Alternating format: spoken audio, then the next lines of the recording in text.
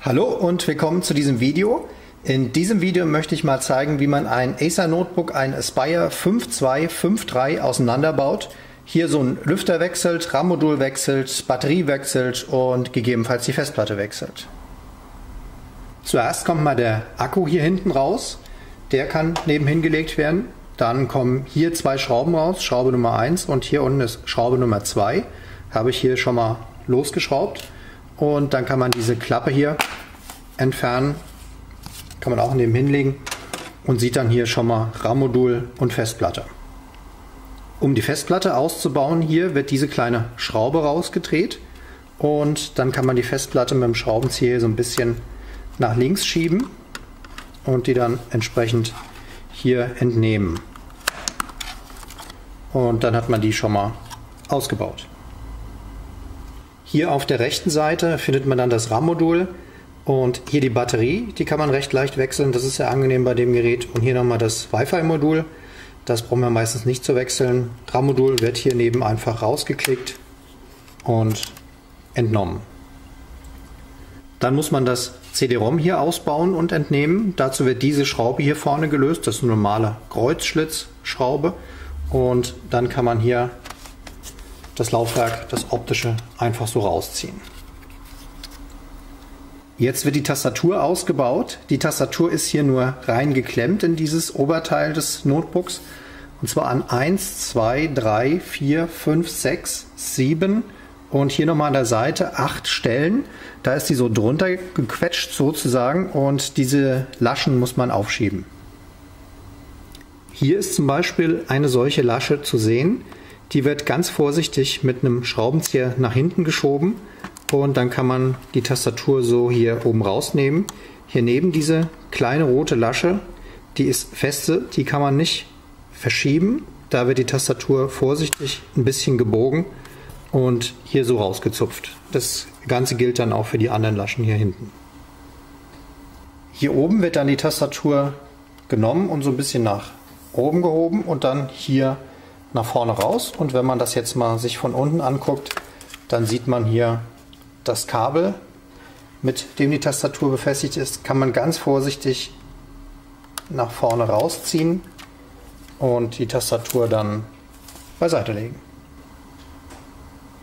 Unter der Tastatur sind jetzt hier acht Schrauben. 1, 2, 3, 4, 5, 6, 7, 8. Die müssen rausgeschraubt werden. Auf der Unterseite des Notebooks gibt es auch nochmal neun Schrauben, die raus müssen. Hier ist Nummer 1, 2, 3, 4 und 5. Und hier auf der linken Seite 6, 7, 8 und 9. Diese Schrauben müssen also komplett raus. Hier vorne versteckt sich noch eine Schraube und die muss auch raus die hält dann nochmal vorne die Front extra zusammen. Die hier nicht vergessen. Das Notebook kann man jetzt so auf die Seite stellen und kann ganz vorsichtig hier die beiden Gehäuseschalen voneinander trennen. Kann man auch einen Schraubenzieher zur Hilfe nehmen, weil hier neben sind nochmal so Clips da drin und dann kann man das hier so ein bisschen aufhebeln. Und dann geht das hier auseinander.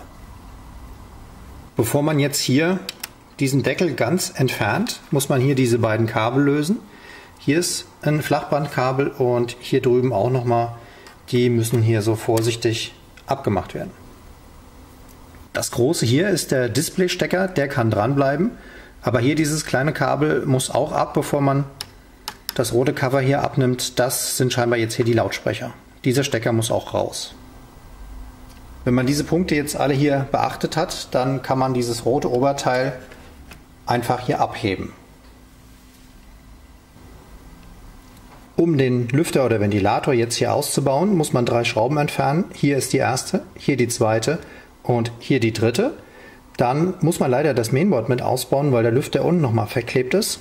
Dazu muss man einmal hier dieses Kabel entfernen, diese kleine Einheit hier und dieses längliche Kabel.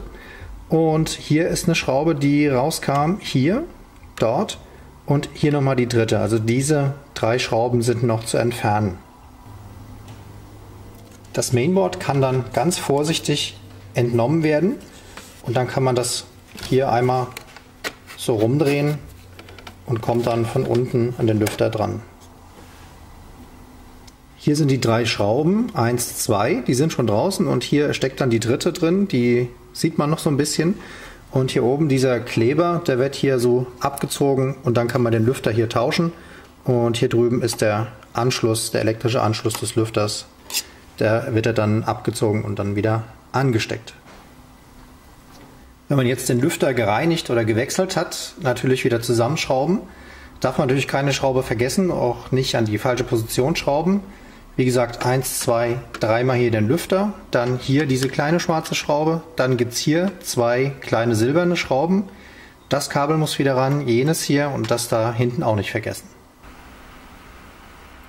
Bevor man das jetzt komplett wieder zusammenbaut und verschraubt und feststellt, dass man irgendein Kabel vergessen hat, habe ich das jetzt mal provisorisch hier oben erstmal drauf gemacht, habe die Kabel angeschlossen und das RAM-Modul reingemacht und mal eingeschaltet und sie da, es funktioniert. Und jetzt kann man alle Schrauben dann komplett wieder reinschrauben. Das Notebook ist jetzt wieder komplett zusammengeschraubt, bis auf unten diese Platte, diese Abdeckung hier. Man kann das nochmal nehmen und kann es mal schütteln. Das ist immer ganz gut. Da hört man, ob noch irgendwas los ist, ob man vergessen hat, irgendein Kabel anzustecken oder ob am Ende noch irgendeine Schraube drin rumfliegt. Das ist jetzt hier nicht der Fall. Das sollte man immer mal machen, bevor man sowas einschaltet. Und natürlich auch immer mal gucken auf dem Arbeitstisch, dass da keine Schrauben oder Teile mehr rumliegen.